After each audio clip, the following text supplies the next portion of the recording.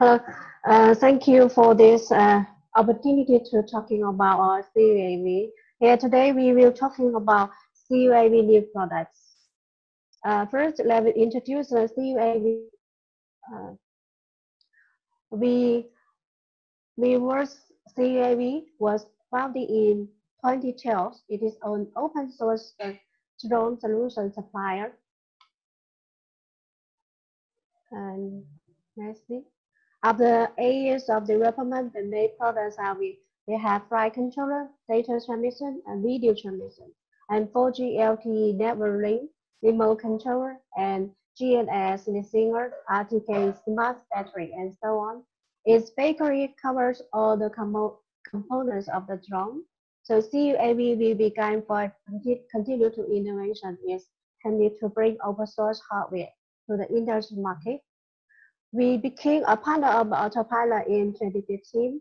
We are one of the earliest ArduPilot partners in China.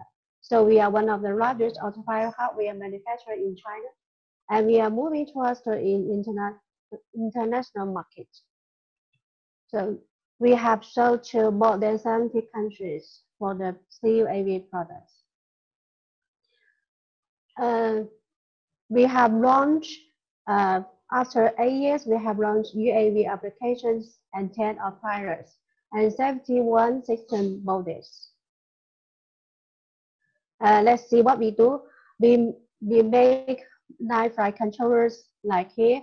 Uh, the make flight controller is page hub and page 3 V3 and V5 and V5 Nano and DOLA 7X7 and page hub and V5 page hub V3 is if FMU 3 and V5 and V5 nano, we use FMU V5 branch. This NOLA and S7, this is new our new flight controller. Here we today we focus this flight controller. Uh, we also make the GNS like new one and new V2, new V2 approach and CRTK and base CRTK base. This our our new CRTK 9P. And for new V1, we use, this is our GB, GBS for MAN GBS. This new V2 and new V2 Plus is our new GBS. Here we, we see new V2 GBS it integrates the buzzer and safety switch and the RGB lights. The difference between this GPS New V2 and New V2 Plus is New V2 we use UAVCAN GPS. And for the RTK, CRTK, uh, CRTK base, we use M8P. And for CRTK9P, we, we integrate high performance for CRTK9P, F9P. Uh, we also made a CUAV cloud. Let's see 4G data and video transmission, AirLink and LTE Link SE. For dif the difference between this AirLink and LTE SE, it is AirLink only uh, sending the data and LTE SE LTE SE, it can integrate the data and the video together. Also, we we uh, apply uh, we have more applications like Fagon control station, CUAV JS, and Fagon transmission, CUAV cloud. And the user can uh, log in their accounts, can control the drone and anytime and anywhere. So let's uh, introduce the how to do, how to work for this. Uh, first, in this job, we install the LTE AirLink and LTE SE uh, by the 4G NAC to send the data and video to the CUAV cloud. And then uh, the data and video we can get in the mission planner and the, the customer uh, can you can get the data and videos at any time uh, to launch in their account. Here we can see CUAV Cloud can, can be know the detail and reader from this client. Uh, next, we have power and battery. Uh, this new our new products can PMU and power manager units. And next, we in the future we will have a smart battery also.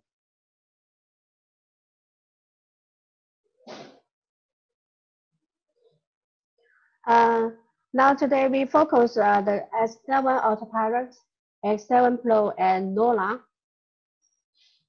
Let's see the processor. S7 Autopilot. A7, we use this processor STM32H7 and V5 Plus, we use STM32F7. You can see the focus and the RAM much better performance. And let's see X7 Autopilot, the difference between V Plus and S7 Pro, S7 NOLA. Here we can see uh, hardware standard V5 Plus use LMEV5 and S7 Plus uh, and S7 NOLA we use CUAV S7 and for the processor we use STM32H743 and cancel this one and we will be much high performance. For the sensors, we use this ADRSI 16470 is also have uh, more standard, more stable for this one. And we add the uh, industrial compass for RM3100. It, it, can, it can integrate uh, anti-interference. Here we, we also have a BMI 0AA and to keep the low temperatures. So let's see the HUSB. This is new. For the first time, we use USB to, to improve the speed. You can see A7 Plus, A7 NOLA supports USB. And we can see this, this one. This one is a S7 Pro and S7 we use 12 diesels. That's big difference. And also for the power, we use UAVCAN PM. And S7 NOLA also use UAVCAN PM. We also keep the analog PM in S1 Pro uh, autopilot. For the design, uh, V5 Plus and X7 is the same, and NOLA is integrated. So this difference. Uh, also, the size for X7 Plus smaller than the V5 Plus and the weight also much lighter. So you can see the difference here. Next, we can see uh, the advantage ADI sensors. You can see we add a, this one more high performance and more stable, right? Here, you can see the red and the green one. Uh, let's see this video is one of our buyer customers to let you see.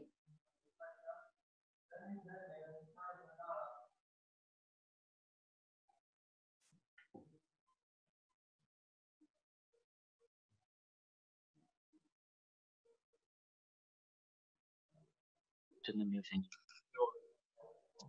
So we can see the uh, ID access. Yes. 有声音，有声音。Let's introduce the HUSB. You can see uh, this drone. Many professional market UAVs by controller inside in this place. Uh, if you want to take out the SD card, it's very difficult, right?